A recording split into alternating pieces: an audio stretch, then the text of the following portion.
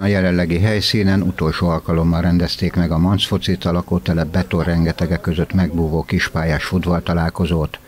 Téber László az egykori kiváló labdarúgó 2009-ben hívta életre egykori és mai futbalisták részvételével azt a közösségi eseményt, ami sem akkor, sem ma nem tucat történet, sokkal inkább egy szívet melengető, gondoskodó szeretettel megszervezett összejövetel, ahol természetesen fontos a csel a gól, de legfontosabb a barátság,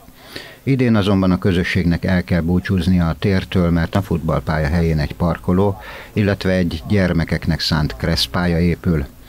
A jó hangulatú találkozót megtisztelte jelenlétével Cserpalkovics András polgármester, Östör Anna Mária egészségügyi és sportanásnak, és Kovács Zsoltni a városrész önkormányzati képviselője is. Mindenkinek azért ez egy fájó pont, hogy én is itt nevelkedtem, és sokszor én is itt játszottam ezen a focipályán, de sajnos be kellett látnunk, hogy tényleg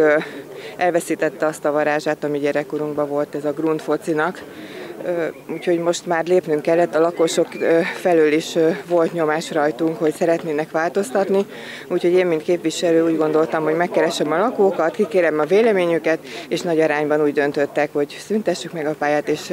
több beruházás legyen rajta. Téber László köszöntőjében sajnálatának adott hangot, hogy másfél évtized után véget ér történetük, de bizakodva tekint a jövőbe, hiszen a közösség együtt marad, és egy másik helyszínen, várhatóan a Rákóczi iskola pályáján folytathatják találkozóikat. Nem nagyon akarok érzelemdús lenni, de ö,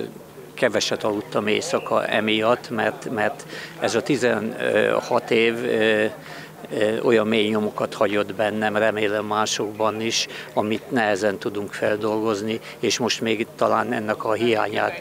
ma még nem is érezzük, hanem majd esetleg jövőre vagy két év múlva, hogy nem lesz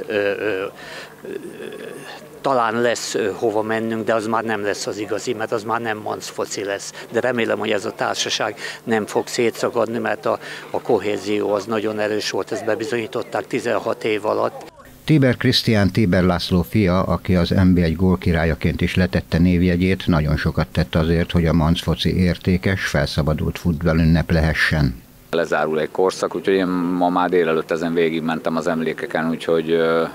meg is könnyeztem ezeket az éveket, nyilván a gyerekkorunkat is egyszer,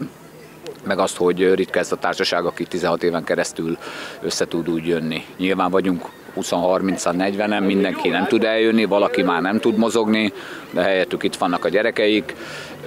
illetve most már látok ma olyan arcokat, akik igazából nagyon nem voltak itt idáig, de hát ugye úgy hirdettük meg, hogy aki, aki él és mozog és tud jönni, az, az mozogjon mindegy, hogy volt itt az elmúlt 15 alkalommal, vagy csak most jön erre az utolsóra. A szép számú közösség ismét megerősítette, a barátság összeköt, a találkozás misztériuma és a nagy futballcsalád az, ami olyan, mint egy örök hűségeskü.